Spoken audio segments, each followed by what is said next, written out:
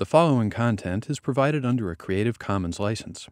Your support will help MIT OpenCourseware continue to offer high quality educational resources for free. To make a donation or view additional materials from hundreds of MIT courses, visit MIT OpenCourseware at ocw.mit.edu.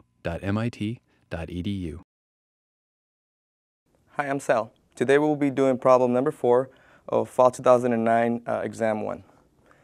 Now, before you attempt the problem, there's certain uh, background information that you should know uh, before attempting it. One is knowledge in ionic bonding, because the problem deals with uh, ions. Two, how to draw an energy level diagram. It's very important. And three, what uh, Madelung's constant is. Now, before attempting the problem, it's you know good thing to read the whole problem in detail and make sure you don't skip anything out of it so that you get all the information that's given to you because that's very important.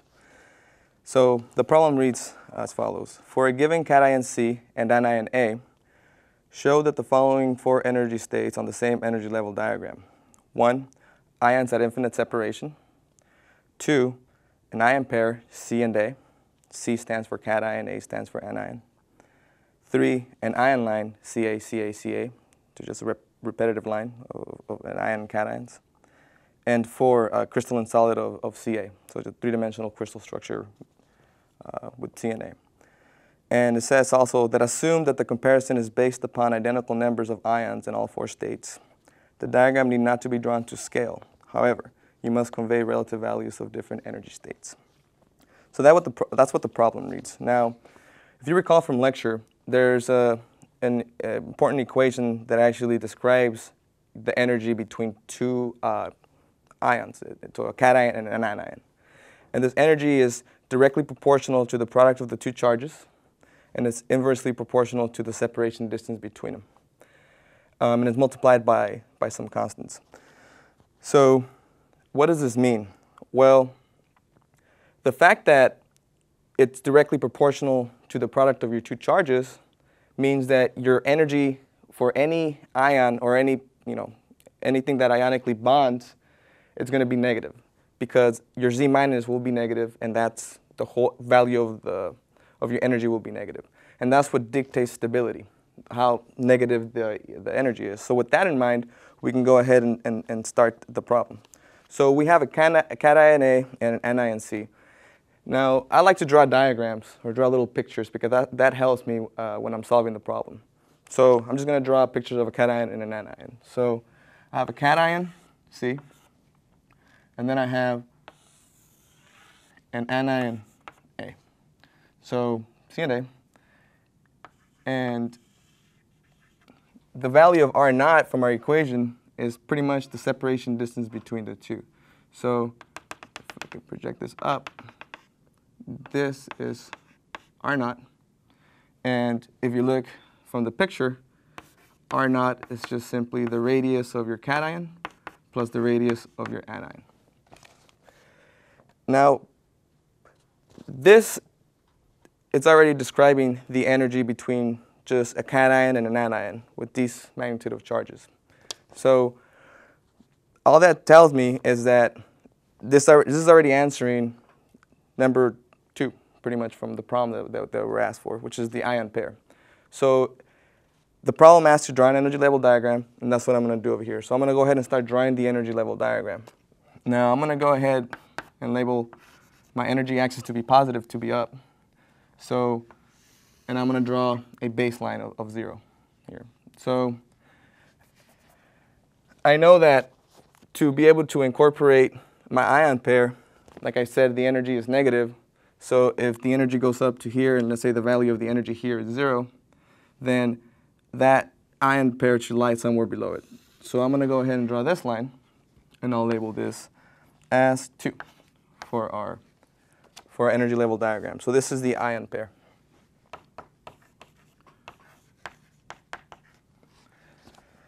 Now, number one says ions at infinite separation.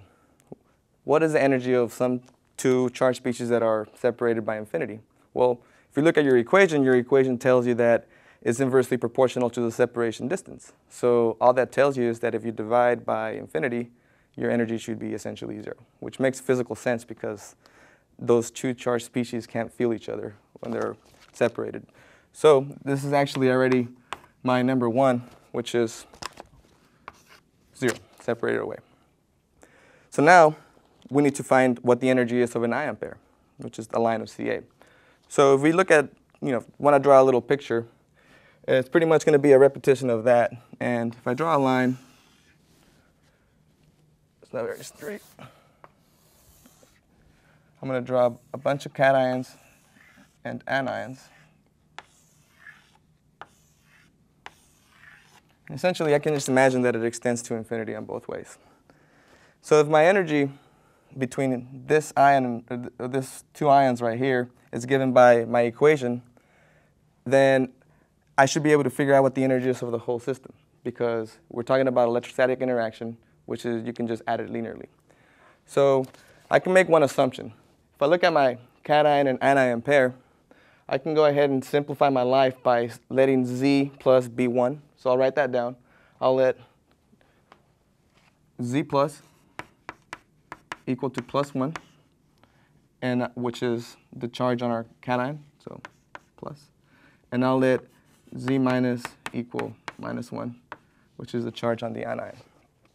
So that's to help with the math. So if I come back over here, and if I look at my equation line, then I already know that if I draw, let's say, a reference axis here, then the separation between the cation and anion is R naught, and between the cation and the other cation is going to be 2 R naught, and it's going to extend for that. So if I, if I go ahead and I relabel my energy equation for a line, I'll go ahead and call it E line of function of R naught it's simply going to be the first one, which is going to be negative e squared over 4 pi epsilon naught r naught multiplied 1 over minus 1 over n. So that's the energy between these two um, ions. So now, because the energy is electrostatic, this cation also feels the repulsion of this other cation. So therefore, with that, you got to add what that interaction is. So the product of the two charges is plus 1, which gives it a plus um, on, in front of your equation. And I end up getting, you know, e squared over 4 pi epsilon naught. Now here's something that you should pay particular attention. The separation between these two cations is not R naught. It's actually 2 R naught because it's where, where exactly where it sits on the line. So my separation distance now becomes 2 r naught, and it's multiplied by the same 1 minus 1 over n factor. Then if you repeat it again, you know, now you're, you're analyzing the interaction energy between the cation and the other anion that's next on the line. So as you can see, you end up getting this nice uh, 4 pi epsilon naught 3 r naught 1 minus 1 over n. And essentially, it repeats uh, till it ends. Now, this is, I'm just analyzing on the right side. Now, because it extends, it's a, an infinite line, because it extends uh, from negative infinity to infinity, then you can also assume that there's an anion to the left. So all you really have to do is you take your overall energy for the right side and you multiply it by 2 because it's additive. So this whole thing gets multiplied by 2. And that's essentially what the energy is of a line. Now, in order to be able to know where it lies on the energy level diagram, it's important to try to get it into the same basic form as the energy of an ion pair, just something simple like over there. So just by looking at the equation, I know there's a lot of factors here that are common, like the, the e squared, oh, the 4 pi epsilon naught, even the r naught, and this factor can all come out of the equation. You can all take it out. So if I do that, you know, my equation of my line then simply becomes negative e squared over 4 pi epsilon naught. Now I'm going to go ahead and take out the r naught as well and I'm going to multiply it by the factor. And essentially, What stays from here is just your, you know, your 1 over 1. From this one, it's your 1 half, and then your 1 third, and what have you. And because I also took out the negative, I want to make sure that I take out the negative from all the other ones too. So this product then gets multiplied by you know, 1 minus 1 over 2 plus 1 third minus 1 fourth plus, and it goes on forever. Now it so happens that this is actually a series that we have an answer or an answer to. And this product that's being multiplied by your fundamental base of your equation is just simply, oh, sorry, I forgot the times two. Don't forget that. It's very important, you know, because you're summing from both sides. This essentially right here, it's simply arise because of your geometry that you're analyzing your system. And this value happens to be greater than 1, which is a good thing. And the value of this is actually 1.386. So the fact that the whole uh, equation is still negative because we're talking about you know Coulombic interaction between a negative uh, charge species and a positive charge species, and we're multiplying it by a value that is greater than 1, this means that if this is 1 right here, then our energy level diagram should lie somewhere below it, like right here. So this is 3. And that's your, your ion line. Now, in real life, we know that crystals don't exist in lines really, or they're not just an ion pair. It's literally something that is three-dimensional and has an ordered structure. Sometimes um, could be different geometries, but normally it's a cubic structure. So because that forms in nature, then that tells me that the energy of a three-dimensional crystal, which is the fourth one that we need to put on the energy level diagram, the value should be greater than, than 1.386. And this value of 1.386 is actually Madelung's constant, which you should, which you should know, um, which is something that's uh, required preliminary to the problem. Um, so I know that below um, this value of 1.386, I have my three-dimensional crystal. Now, an energy level diagram is pretty much kind of quantized by different steps.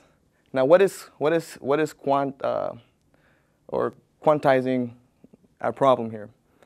Well, this is zero because if our energy is zero, so we can almost assume that we're multiplying, or that the Madelung's constant for an, pair, an ion pair at infinite separation is, is zero. And this is one, so we can assume that the Madelung constant is 1, or we know that it's 1 for an ion pair. So if I start writing this out on the side right here, give me some space. I know that's 1. I'm going to go ahead and label this by Madelung's constant, which is 1.386. So if I come over here, relabel this. This value here is 1.386. And this value here has to be greater than 1.386 for a three-dimensional crystal. And this little diagram here is the answer to your question from the, from the exam. So when you take the exam, you don't really have to go through all this math to answer the problem. If you know the material uh, from lecture, then the solution should be very straightforward very easily. And also, if you keep in mind that there's a lot of material that you need to know before you take the exam, and knowing how to absorb that material and apply it, will help you in, in, in solving these type of problems, which, is, which, are, which can be pretty difficult.